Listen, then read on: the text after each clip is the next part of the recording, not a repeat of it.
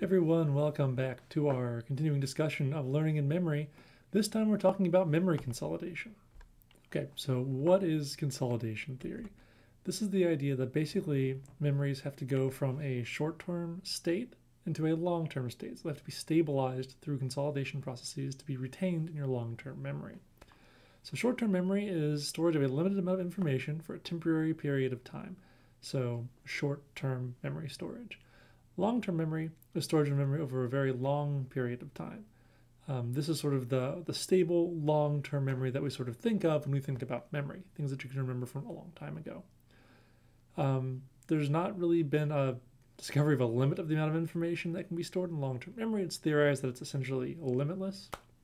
Um, so um, a lot of information can be stored for a, a long time in our long-term memory. So consolidation is the process where short-term memories are converted into long-term memories, and this requires a functional hippocampus. If you have no hippocampus or your hippocampus is damaged, you can't do this. So we're not going to talk too much about short-term memory in this course. You can think of short-term memory as sort of like what you're aware of right now, your, your sort of conscious awareness, the things that you're remembering and thinking about, or things that have come in from your sensory information that uh, you're sort of thinking about right now, things in your environment that you're looking at or or working with. So things in your short-term memory can be kept in your short-term memory as long as you continue to think about them or rehearse with what you're thinking about. So for example, if I give you a seven-digit number sequence like a phone number and you repeat that to yourself in your head, you're keeping it active in your short-term memory through an active elaborate rehearsal uh, sort of process. But information can uh, be sort of converted from short-term memory, things that are transient and part of your current conscious awareness, into a sort of long-term storage in your long-term memory through this consolidation process. So our long-term memory doesn't end with the hippocampus. There are other regions involved. So let's look at some data here.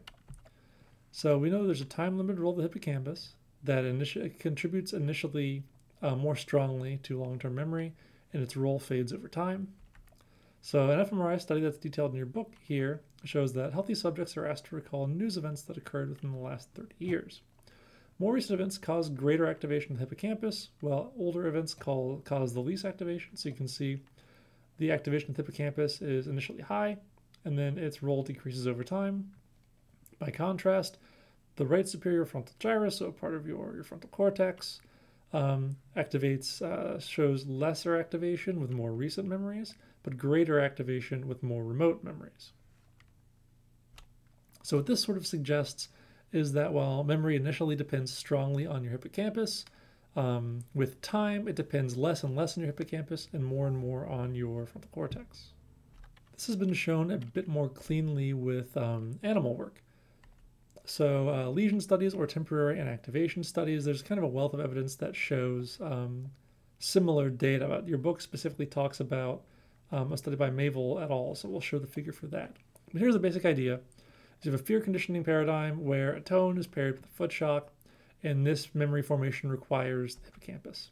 So the animal's trained, and then the um, region is either lesioned or, in this example, is temporarily inactivated one day or 30 days following training. So either the hippocampus or the medial prefrontal cortex are inactivated one day or 30 days following.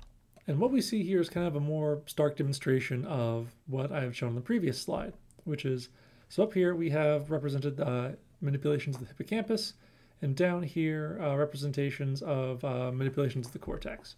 So what we see here is if we inject lidocaine, which is a sodium channel blocker, it's going to produce a temporary or reversible lesion or an inactivation of this brain region. So the hippocampus is inactivated um, one day after training and shows no memory for the task, right? So a strong memory impairment. However, after 30 days, if we inject lidocaine into the hippocampus, memory is just fine.